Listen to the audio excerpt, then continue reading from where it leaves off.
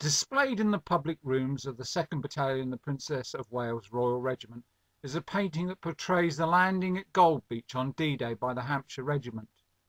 There is no film evidence of the Hampshires fighting on D-Day, and their operational diary does not give an hourly account. This may be because their commanding officer was wounded and their second in command killed by a sniper's bullet early in the action. Generally, this omission from the records is regarded as an indication of the torrid time experienced by the men on D-Day. By 1944, the Hampshires were already a battle-seasoned unit, having played a similar role in the North African campaign as well as the assault on Sicily. These conflicts took a heavy toll on the regiment, and this may have influenced planners' choice in using them again to spearhead the D-Day landings, which were expected to inflict heavy losses on the assault troops. At the centre of the five designated landing areas for Allied troops on D-Day was Gold Beach to be taken by the 231st Brigade of the British 50th Infantry Division, which included the Hampshires. According to the intelligence diary for the 231st Brigade, the brigade commander visited Southampton docks before D-Day and spoke to the men on the infantry landing ships HMS Glenroy, Empire Spearhead, Empire Crossbow, Empire Arquebus to wish them Godspeed. Meanwhile, along the coastline of northern France, Allied minesweepers prepared safe channels for the Armada. During the final approach, the greatest threat came from the Americans, who managed to ease a number of points off their course and threatened to jockey the convoy out of their swept channel. But Commander Wheeler refused to be bounced, and after a brisk nautical exchange, the US Navy ships were obliged to sheer off. The ships were to reach their release position off the coast of France at about 5.25 a.m. and under the cover of the tail end of the naval and air bombardment, the assault landing craft were lowered into the water to get away from the LSIs and make for the shore. The 50th Northumbrian Division was to go in on the right of the third of the three assault divisions of the Second Army, with 69 and 231st as the two assault brigades. At Jig, the first wave of infantry arrived at 725 and immediately came under fire from the fortified gun at La Hamel that survived the bombing. The tanks that were supposed to arrive in advance of the infantry were delayed by rough seas and didn't arrive until 8. Many of the tanks got bogged down on the beach or were taken out by enemy fire. Two companies of the 1st Battalion Hampshire Regiment landed very close to the strong point at La Hamel and had to fight their way through enemy garrisons to get off the beach. Attempts to flank La Hamel were made difficult by the surrounding machine gun placements, mines, and barbed wire. They soon captured strong point WN-36, but had to break off the attack when they turned west and came under heavy fire from strong point WN-37. The only other way to capture that strong point was to circle around and attack the emplacement from the rear, a process that took several hours. So here at Jig was attacked by uh, the 1st Hampshires and the 1st Dorsetshire. Uh, the 1st Hampshires landed pretty close to this position and were immediately under fire from what you can see directly behind me. This is WN-37. This was the strongest fortification on Gold Beach that morning. Uh, there was a German 88 millimeter uh, anti-tank gun, or pretty much an all-purpose gun that was here. Uh, and this area was ringed by machine guns and mortars. It's a very tough nut to crack. As you can see, there's bullet holes and there's chunks taken out of the concrete from fire coming in. Uh, this put up a very stiff fight. So the first Hampshires landed in this part of the beach at about 7.25 in the morning and they uh, were able to take WN36, which is a separate fortification. It's not visible today, but it's in that direction a little bit of a ways. And they started coming up this way to take out this bunker. Uh, and they were unable to do so because this bunker was laying down incredibly fierce fire. The nearby sanatorium complex was also providing a hotbed of resistance. There were a number of other concealed machine gun positions and tobruk's built into the sea wall. The 1st Hampshires were taking more and more casualties, and clearly there were more Germans here than expected, and of a very different fighting quality than some of the coastal units defending King Beach. Uh, men started to pile up on the beach and were unable to move inland because the village of Asnelles and Ver-sur-Mer, which is in that direction, were still heavily defended by the Germans, and it took house-to-house -house combat to get the Germans out of this town. So in the meantime, there were men bunching up on this beach and the tide was coming in. So it became a problem of getting the men and the equipment off the beach in time. A plan was made in the early afternoon for B Company to give fire support to C Company as they established themselves within Hamel East and bring them within 250 yards of the sanatorium position. C Company started its advance at 1345, but it took an hour of difficult fighting to attain dominance in the area. B Company now moved up to about 50 yards from the sanatorium in order to put in a final attack, but was held up by heavy fire.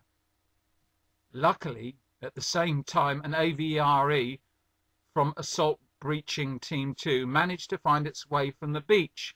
When it fired a dustbin bomb at the sanatorium, a huge amount of smoke and dust erupted, but German fire was only temporarily disrupted.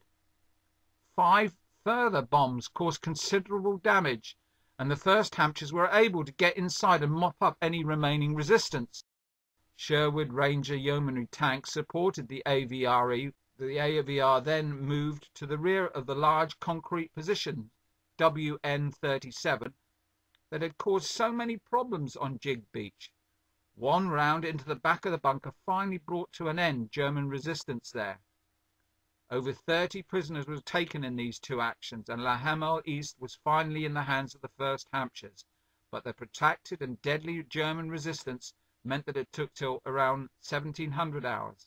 Part of the problem had been that, as well as the early bombing falling 3,000 yards away from the target, and strong point WN-37 in particular being well protected from the naval gunfire on its seaward flank, the casualties amongst the 1st Hampshire's officers and the close nature of the fighting meant that radio contact with naval bombardment forces could not be effectively exploited.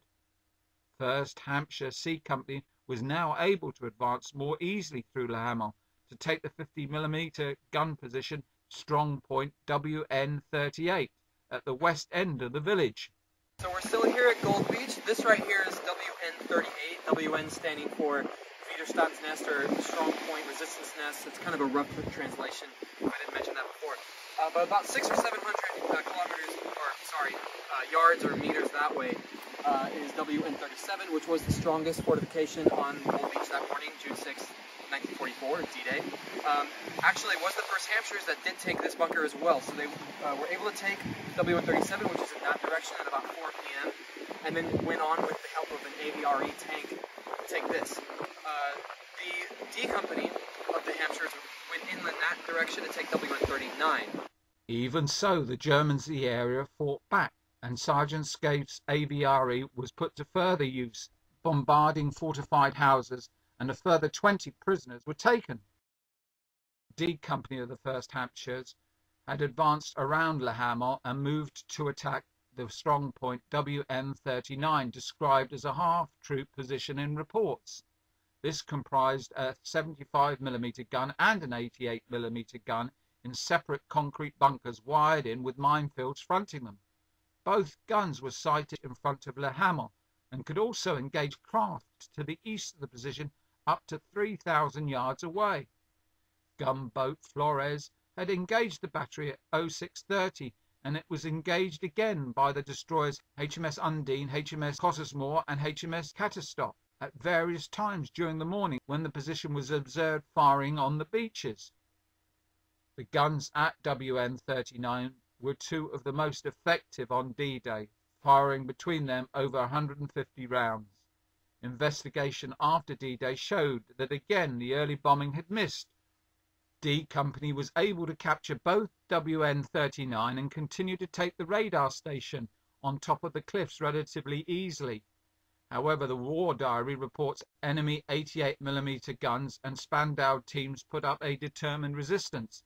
At any rate, after La Hamel seemed under control, B and C companies joined D Company at the radar station and the move into Arromanches itself was organized. Some of the battalion support company Bren carriers had arrived and several AVREs seemed available. D Company had taken about 40 prisoners, some coming up from Arromanches under a white flag. In the days after D-Day, it was essential for the Allies to get supplies on the beach. We didn't necessarily have a good deep water port. That was uh, the objective of the Americans over in the West, taking the Cherbourg Peninsula. So in the meantime, the Allies took some barges, sunk them, lined them up along here, and made an artificial harbor, and the remains of which is still visible to this day. A bombardment on the battery beyond Arromanches by naval vessels and 147 Field Regiment was arranged, and D Company advanced to the south and rear of the town to take this objective. Major Mott then descended into Arromanches with C Company, and he reports little opposition, and that Arromanches was full of French people. Flowers came out, and tricolours and Union Jacks. I had been told that all coastal inhabitants had been moved inland, but these were delighted to see us. The right flank of the Gold Beach landing was now securely held. Brigadier Stanier came up and congratulated the men for a magnificent show. The 1st Hampshire suffered 182 casualties in the single day, but remained operational. By the evening of June 6, the bridgehead at Gold was the strongest of the five, despite the remaining German resistance pockets throughout the beachhead area. 24,970 troops had landed, along with 2,100 vehicles. The 50th Division had lost around 700 men. Total casualties from all units involved in operations at Gold were around 1,000 men, of which 350 were killed. German losses are unknown. At least a thousand were taken prisoner. There was a feeling on D-Day that because of the casualties and the length of time to achieve their objectives, the Hampshire Regiment would be criticised. In reality, they showed tremendous courage and discipline in the face of difficult circumstances. According to the regimental history for D-Day, every Hampshire man knew the importance of the task that was given to the battalion and never hesitated. They understood the honour as a spearhead of the attack and the first British troops ashore and rose to the challenge.